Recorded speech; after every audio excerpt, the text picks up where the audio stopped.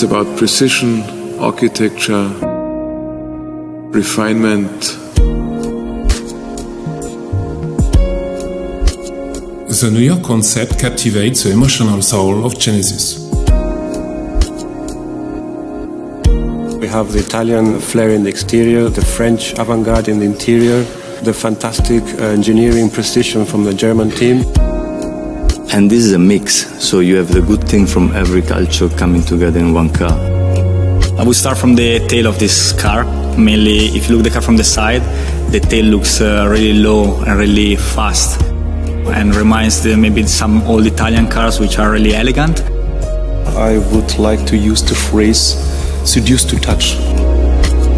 It was a combination of different elements. The first was the integration of technology has a very classical aspect on one hand, and on the other hand, it looks also very modern and almost kind of science fiction.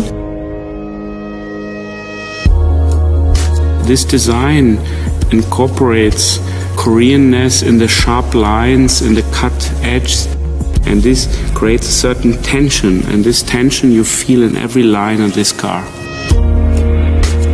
We are, we are on a journey. The journey is not finished. You know, the, the, the journey goes on.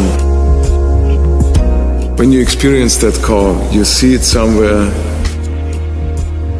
or you, you drive it yourself, you can feel the spirit, the spirit of Genesis.